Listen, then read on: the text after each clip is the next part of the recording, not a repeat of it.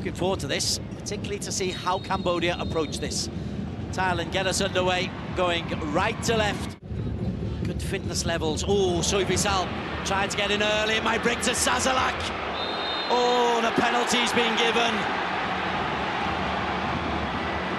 Right on half-time. In first half, added time. Teerasil smashes to the top corner.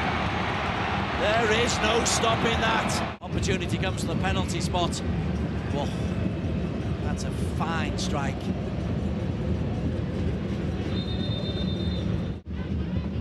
Zambat. Chalermpon. Young Muslim gives it away to Sarach. Sarach Yooyen drives forward. Oh, and it's poked home. Sumanya within four minutes of coming on. And Thailand take a 2-0 lead and top spot in the standings.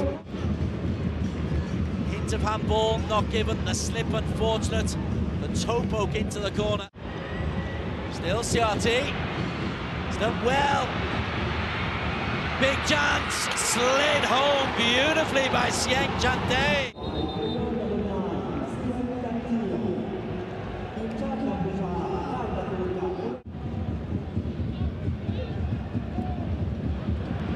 Given away, Chanarong, Teerasil, Teerasil Dangda! Most normal strikers go to the goalkeeper's left, he comes across him to the right, finds the side netting. That is a top-level goal.